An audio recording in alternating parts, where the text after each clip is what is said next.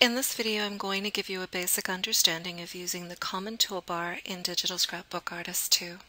The first four icons are pretty straightforward. You've got your save, your cut, your copy, and your paste buttons. The next one is your Format Painter, and that will save you a lot of time. For example, if you create a shape, color fill it, maybe add a brush, a shadow, or even an effect, and you like what you've created, but you want to do the same thing to a couple of other images. Instead of doing one image at a time, you can select the image that you'd want to use. So I'm going to click on this butterfly. I'm actually going to hold down the Shift key on my keyboard, and I'm going to click on this butterfly and this one. So now I've selected three butterflies. I can let go of the Shift key and click on Group. Now I want to transfer the formatting from this into these three butterflies. In order to do that, I first need to click on the area I want to copy the formatting from, then click once on the Format Painter, and then click once on my butterflies. And you can see everything that was in this area is now transferred into this one. The next feature up here is your undo and then you've got your redo and the select tool is pretty straightforward. You'll use that to turn off items and to move things around. Over here is your shapes button and when you click on that you can select any shape you want. Now currently I do have a green color fill and this is going to make it a little bit easier for you to see the shape I select. So I'm going to select the quick petal and if I want to I can hold down my left mouse button and keep it down and I can stretch this out pretty much in any direction I want. However, if I hold down the shift key on my keyboard and then keep my left mouse button down, you'll see that the width and height of this petal is now in proportion. When you're finished, just let go of your left mouse button and then you can let go of your shift key. Now with each shape, you're going to notice that there is a slider somewhere on either the right side, left side, top, or bottom. And with each slider, you're also going to see a little circle. So if you drag this circle, you can get some different effects. You can just play around with the different ones, and when you're happy with something, click on the select button to turn off your shape, and then you can move this wherever you want. The next feature is your text button. Click on it once to select it, click once on your blank page, hold down your left mouse button, keep it down, and stretch out the size of the font that you'd like to use. Once happy, let go, and type out whatever it is you want to say. Then click on Select to turn off your text. At this stage, you could easily go over here and you can adjust the point size. If you're not happy with the point size, you can always move the handles and make it the size that you want. You can move this around anywhere you like, and if you want to start experimenting a little bit with the letters, you can go over here to Edit Points. You'll also see right over here there's a slider so I can move the letters in and I can move them out. And beside each letter in the bottom left hand corner there's a little square. If I click on it, you're going to see at the top of the little square there becomes a rotating arrow so I can move this in the direction I want. And if I individually click on the little square, I can move each letter in whatever position I want. Once happy, just click on back, and now you decide on what font you want to use. Keep it selected, go over here and click once to highlight it. Now using either the wheel on your mouse or the up and down keys on your keyboard, you can scroll through your list and you can look at the different fonts that you have. You can also pull down the pull down menu and as you go through these you're going to see a preview in the right hand corner appear. Once you're happy, just click once off of your font so it's no longer selected. Now the next button is your Photos button and that's pretty straightforward. You click on it and then you can find a photograph on your computer. Over here is your Brush button but before I begin using that I want to go over here and make sure that my color fill is to the front and I want to turn that off.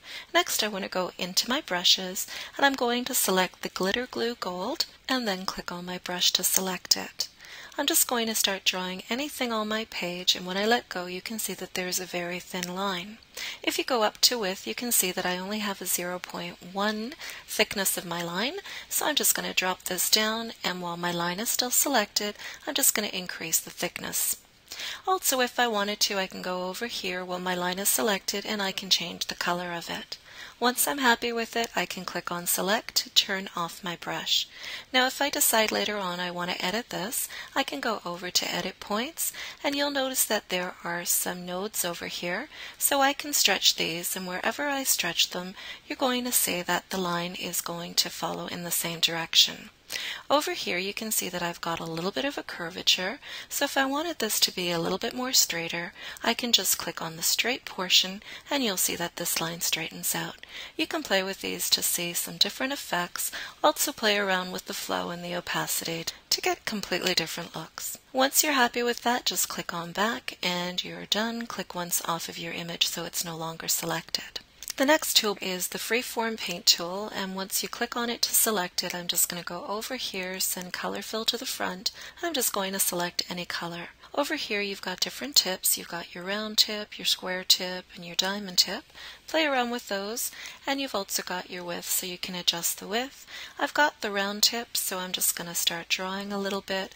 Once I'm happy with it, I can click on select to turn off my freeform paint tool. And if I wanted to go back here to edit it, I could easily click on it, click on edit points, and I can move these little nodes around until I'm happy with their placement.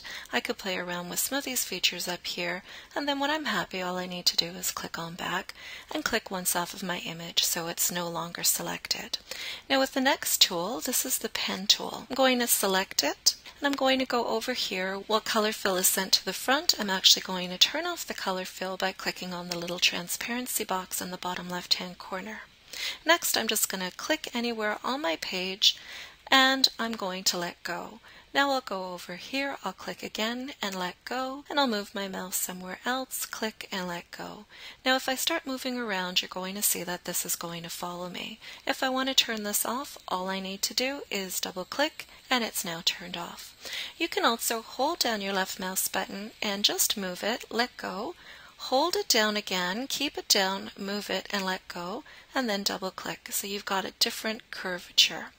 Now at any time you can also go over here and you can change the right and left side of your line. So if I pull down this menu and I decide I want to have an arrow at the front and over here at the back I may want to pull this down and maybe I want to have the end of an arrow now I just want to change the size of it so that we can see it a little bit better.